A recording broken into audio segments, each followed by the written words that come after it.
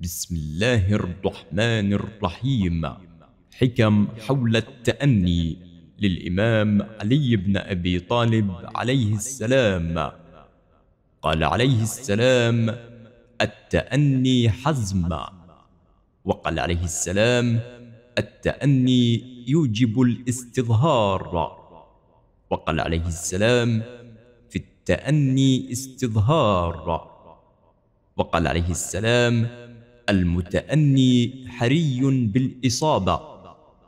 وقال عليه السلام المتأني مصيب وإن هلك. وقال عليه السلام أصاب متأن أو كاد أخطأ مستعجل أو كاد. وقال عليه السلام التأني في الفعل يؤمن الخطل وقال عليه السلام بالتأني تسهل المطالب.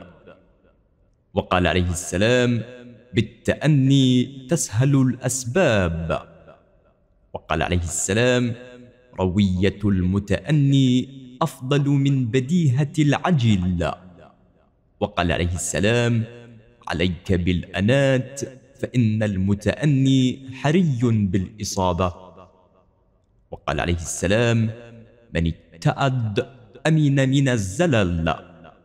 وقال عليه السلام لا تكن فيما تورد كحاطب ليل وغثاء سيل.